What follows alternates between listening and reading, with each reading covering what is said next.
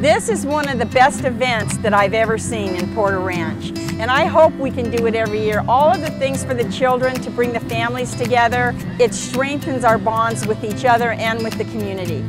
You have to be able to dream, and our dream came true. We've had a great life here. Just the overall feeling of Porter Ranch. It's beautiful, the people are nice, it's family oriented, it's one of the safest communities in the state, and it's values and principles and morals that we all believe in. We love Porter Ranch, and I think we're going to be here for quite a while longer.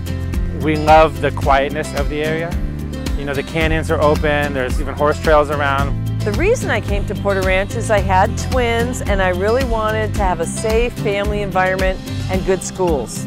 What's so special about Porter Ranch is I can literally go anywhere and I'm gonna know someone, they're gonna know my name, and I grew up in Los Angeles, I'm a native Los Angelino, and you just don't get that sense of community in any other part of Los Angeles. It's like the small town, hidden gem of the valley.